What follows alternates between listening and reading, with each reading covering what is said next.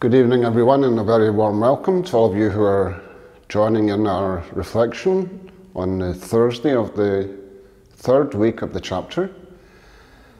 Um, time is beginning to fly. Uh, we're coming towards the last week. And um, today was, again, like every day, rather interesting. We began by electing the final, the sixth and final consultor to our Superior General. His name is Paul Vim from Vietnam. And we were all very delighted. He's a very gentle person, and I'm sure he'll be a great member of our General Council. We also spent quite a bit of time trying to elect a Vicar General uh, to take up his position from the General Consultors.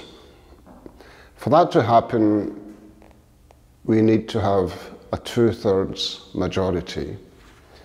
So, three times we voted, but we didn't succeed so far um, in finding a two thirds majority. Well, hopefully, tomorrow morning, I think, uh, if God is good, we will get a result. The rest of the day was not difficult, but it was very technical.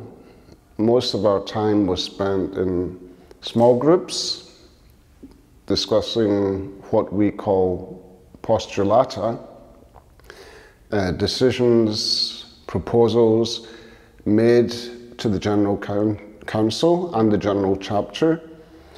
And there's a lot of them.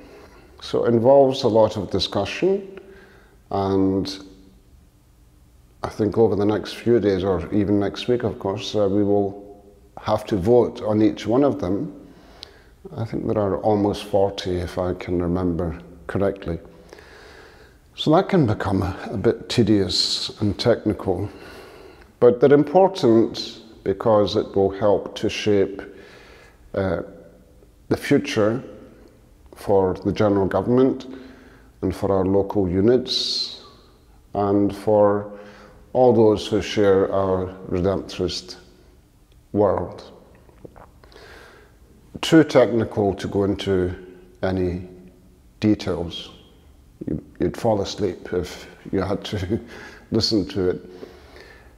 One of the joyful things about the general chapter is our prayer times, where we use a whole number of languages Portuguese, English, French, Spanish, Italian, and the music, the hymns, the spirit of prayer, the videos, they inspire us and give us a real sense of unity in our time of prayer together. And that's something which has um, certainly made the chapter experience very positive for me. I think that's about all I can say for today. There was a lot more happening in small groups, but I'm sure you're not really that interested until you hear the final decisions. So thank you for watching. Uh, may God continue to bless each of you. And of course, we ask you to cont- continue to pray that God's will be done during our general chapter. Thank you so much for watching.